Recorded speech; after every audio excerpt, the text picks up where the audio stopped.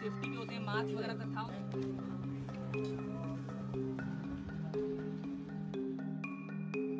गहराई तो है खैर गहराई तो है ये अंदर ना है सिर्फ़। हम्म, हम्म। ये कपड़े पड़े इसके अंदर। कैसे करके ये गड्ढे का काम तो उन्होंने कल ही शुरू करा है कल सुबह आके नौ दस बजे आके जेसीबी से खुदवाया है।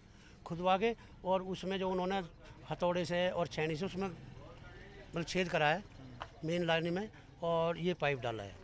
अच्छा। इस पाइप को डालने के बाद बाहर से मसाला लगा दिया, उन्होंने सीमेंट, रोडी जो भी लगाना था। अंदर लगाने के लिए एक आदमी को भेजा। जब उस आदमी को मसाला लगाने के लिए भेजा था, वो हमने परात हटा दी यहाँ से तो वो लगाने लगा तो जैसे नीचे झुक कर लगा रहा है तो उसको गैस चढ़ी, गैस चढ़ते ही वो गिर गया हाथ मतलब उसने कोई आवाज़ भी नहीं निकली उसके मुँह से। उनका ठेकेदार साथ में ही था। उसने देखा तो दूसरे आदमी को भेज दिया, अब इसको निकालो। वो भी दूसरा फिर गिरा। इसी तरह करते करते उनके चार आदमी गिर गए।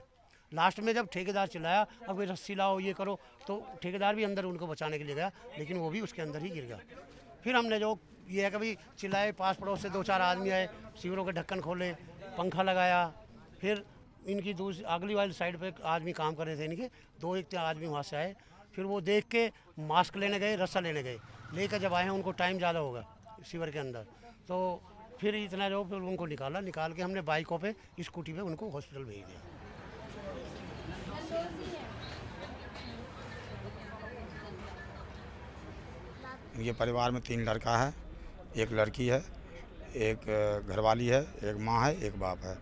और तीनों लड़का लड़की बिना शादीशुदा है। कल भी बात हुआ था फ़ोन से परसों परसों बात हुआ था। तो बोला हम आएँगे एक दो दिन घूमने के लिए ठीक है आ जाना। उसके सुबह ही गुजर गया ये दो बजे दिन में करीब।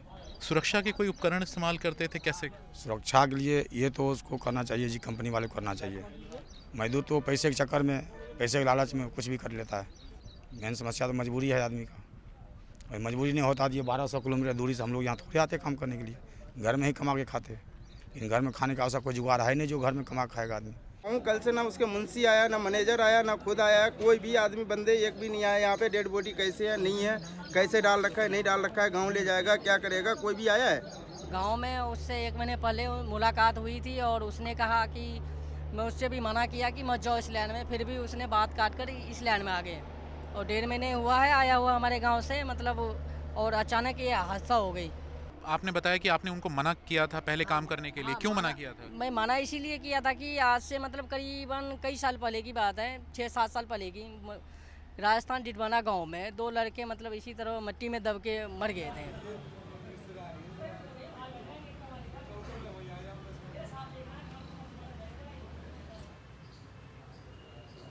इसमें ईमेस इंफ्रोकॉन कंपनी है जो जल जल निगम के बेहाब पे ये सीवर लाइन बिछाने का कार्य कर रही है।